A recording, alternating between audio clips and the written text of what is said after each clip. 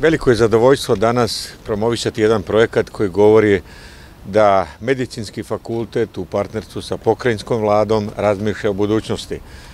Kao što je naša sadašnjost pokazala da osim objekata, savremenih tehničkih sredstava,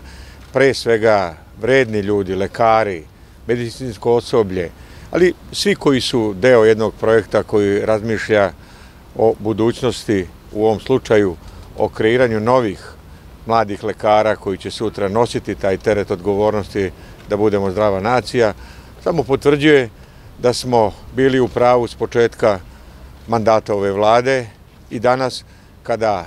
relativno restriktivnim budžetom uh, ograničavamo neke troškove, ali nismo se ograničili kada je u pitanju nautotehnološki park, uh, zatim uh, investiranje u medicinski fakultet, dakle s partnerima koji razmišljaju o budućnosti, oni koji razmišljaju o kvalitetu života. Mi smo tu da pružimo ruku i da pomognemo. Meni je naravno zadovoljstvo što kao resorni sekretar zaista govorim o onima koji su i u prethodnih dva meseca pokazali veliku etičku odgovornost, ne samo stručnu. Pre svega mislim na studente koji su u call centru bili veliki partner u saniranju štetnih postojdica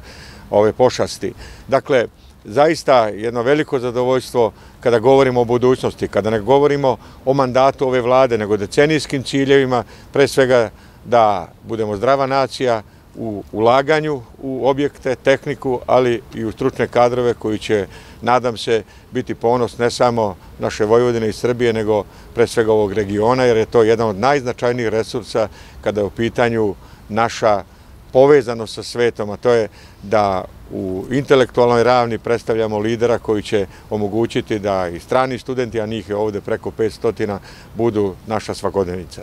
Hvala još jednom, pre svega, kolegama sa medicinskog fakulteta i naravno da sam posebno srećan što smo partneri u pravom smislu reči na ovom jednom vrlo značajnom projektu.